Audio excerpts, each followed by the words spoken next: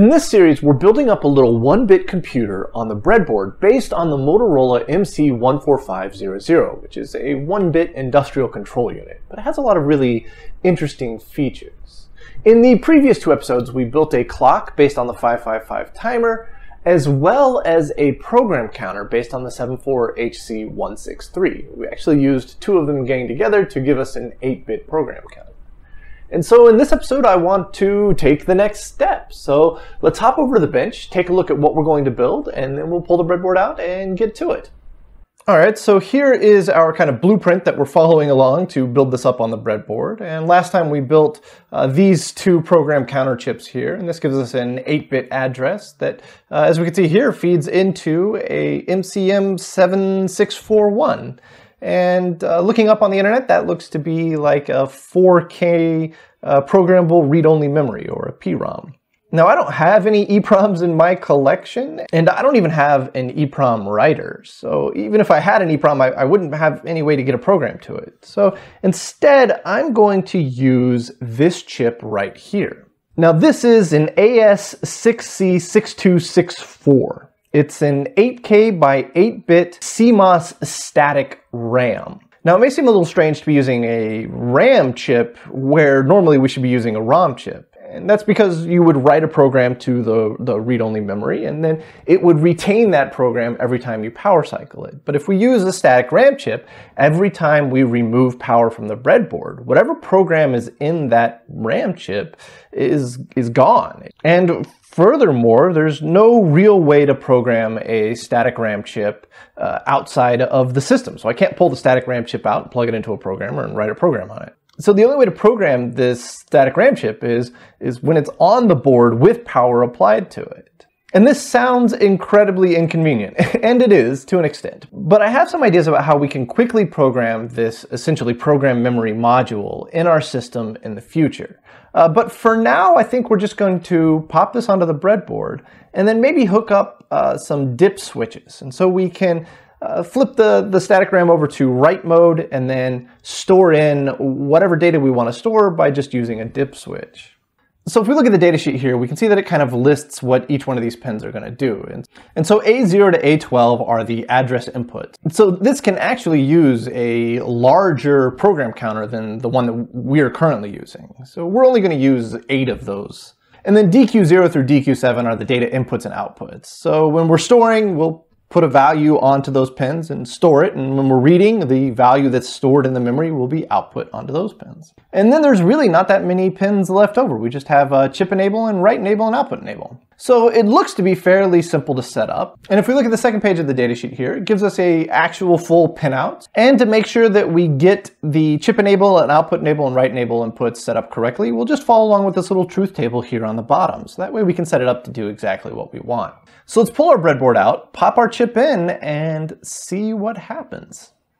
All right, so here's the breadboard where we left off last time. You can see that we've got our clock over here and our program counter over here on the left. And there's currently power on, so it should still be working. Let's push the clock and find out. Yeah, that all seems to be, uh, that's all working great. And we can halt it just like that. Yeah, that's all working awesome. All right, so we'll unplug power here. And let's go ahead and pop in our memory chip. All right, so normally I would say let's hook up power and ground first, but the power pin is right up here and there's gonna be a whole lot of wires moving around in this area. So I'm gonna save the power pin for a little later. But we'll hook up the ground pin, which is this one right over here. All right, so let's start with the data pins, and they're set up in a little weird manner. These uh, three right here next to the ground are D0, 1, and 2. And then it kind of wraps around and we go 3, 4, 5, 6, 7 coming this way. So the least significant one is furthest away on this side and the most significant one is furthest away on this side. And that's kind of confusing because I want to break them out into just a straight line. Um, and so what I'm going to do is I'm going to run those pins over into this area because this is the area ultimately where we're going to put our dip switch that we're going to program the chip with. So let's go ahead and run the jumpers for that.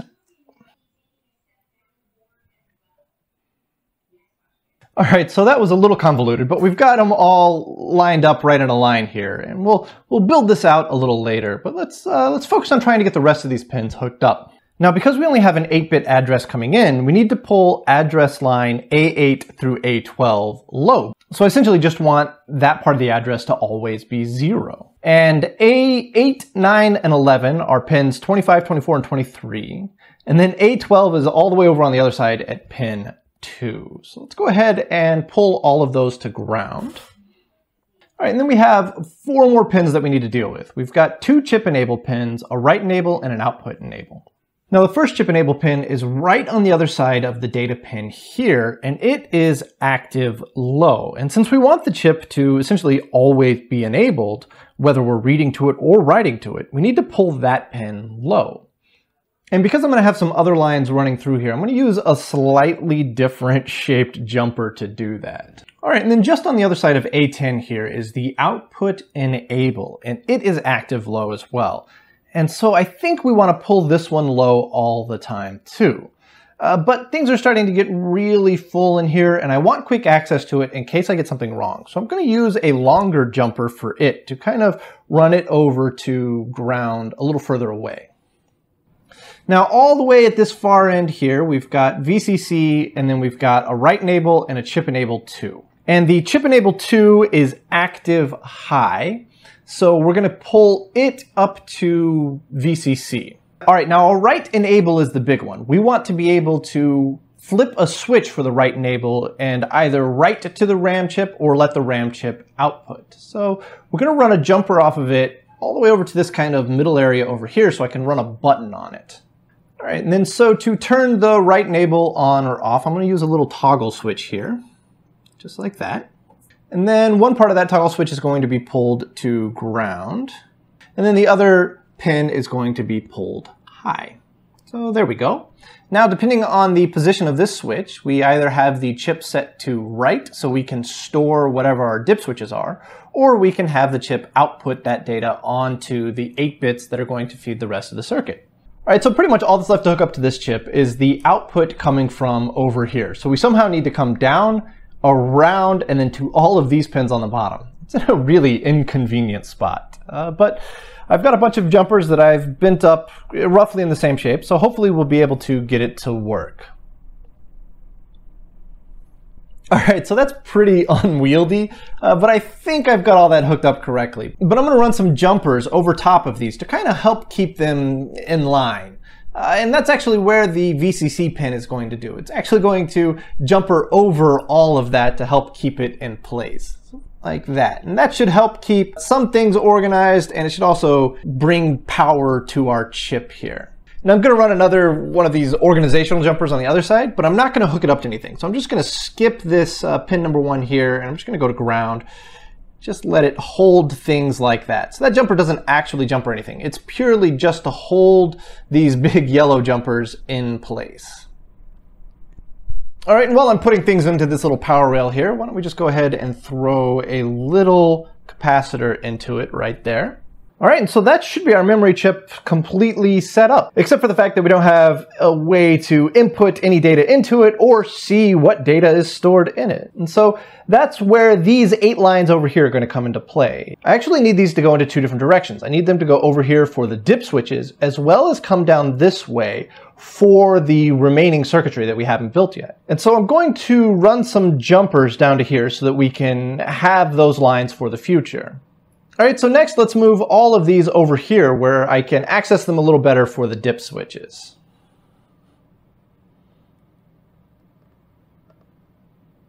All right, but now that we've got them all lined up, it means I can hook in the dip switch really easily. Now this end of the dip switch, all of these are just gonna be pulled high. So I've got a bunch of little jumpers that I'm gonna use for that. And then we'll just pull all of those high. All right, so now we have the ability to turn these on or off, but we still don't have any way to see what's on there. And so I need to move all of these one more step out so I can hook some LEDs up in this uh, increasingly tight space right here. All right, now that we've got all those jumpers run right over to here, let's go ahead and uh, plug our LEDs in right along here, but we're, we're pretty tight on space. So I'm gonna move my power lines out of the way here. And we'll see if we can stuff them all in this tight little area right here. All right, so that wasn't exactly graceful, uh, but I think I've got them all in place. except that the ground side isn't actually connected to anything. So let's run a bunch of jumpers and then ground that out as well. All right, and then the final step is, is that when we're writing to the RAM, we want to pull all of these lines low. And so what we're going to do is we're just going to put some pull down resistors on the lines right along here, just some little 1K resistors. All right, it's not graceful looking, but I think I've got all those hooked in correctly. And the idea is that whenever we're writing data into the static RAM chip over here, the dip switches essentially put those pins at floating. And so these 1000 ohm resistors will pull those inputs low without actually affecting the input during normal operation. All right, and I believe that's everything. So let's go ahead and hook power back up and see what happens here. Okay, so our program counter initialized into a random state, which, you know, we were expecting. And the static RAM chip is actually displaying some data, which also is not unexpected. So if I just let the program counter run, we should see whatever random data is stored in the static RAM chip uh, being displayed here. So let's give that a shot. Yeah, we can see that there's just some, some totally random data stored in there. All right. So now I want to clear out the static RAM chip. And I can do that by essentially just storing zeros uh, for every address throughout our program counter. All I have to do is leave my dip switch off here and change this over to write. And when that happens, you can see that the LEDs go off because now it's writing whatever is being input into the data lines into the RAM chip here. So if I just let the clock run, that should store all zeros into every address in our RAM chip. So let's do that. Let's just crank the speed up. All right, so you can see that the, the program counter here has cycled through a couple of times. Um, so we'll go ahead and halt it. We'll turn that off. Uh, and we'll reset back to zero. Okay, now we're reading the data that's in the static RAM chip. So if I let the program counter run, this should all stay off because we should have nothing but zeros stored into the static RAM chip. So uh, let's give that a shot.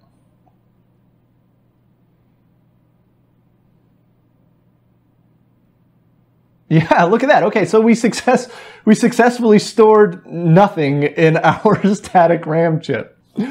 Um, okay, so let's uh, turn you off, reset you back to zero. We'll set you to write, and let's store a one into address zero of our static RAM chip. So we'll just take our little dip switch here, flip you up. Okay, yeah, you can see we're displaying a one. Now, if I go to the next clock cycle here, turn you off and go back to read, okay, yeah, you can see that we're, we're still reading zero, but if I reset to zero, zero, zero, yeah, there we go. All right, so at address zero, we're storing a one. So now we can program whatever 8-bit data we want into the static RAM here and correlate it to whatever program counter address we want. So let's, uh, let's program in something a little interesting.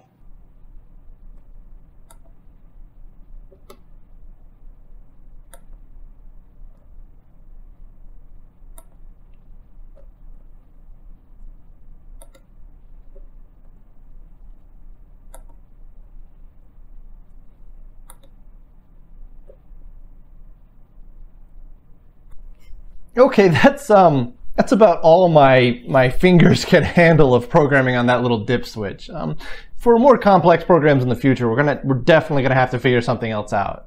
Um, so we'll go ahead and pop you back over to read, reset. We'll halt it, get the clock going. All right, now when I undo this halt, we should see the program counter count up and we should see some interesting patterns display on here. Let's see if it works.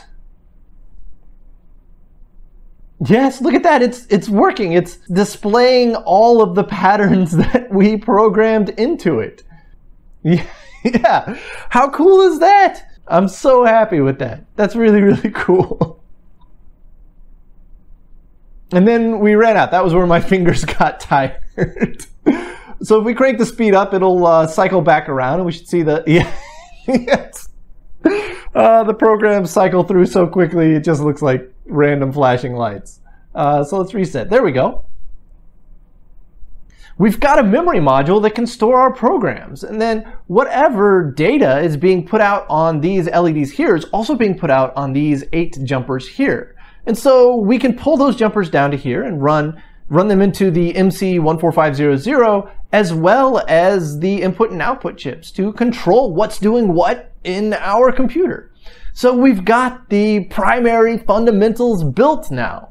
So this turned out really, really good. I'm really happy with how this is working. And even though it's not a read-only memory, it still has the ability to carry the program that's going to run whatever it is that we want to run. And so we're starting to break our way into a system that has some form of capability. That's really cool. So in the next episode, we're going to pull out the MC14500 itself and actually get it onto the breadboard. Uh, but for now, I'm going to keep playing with this, maybe uh, program in some more interesting patterns into our memory.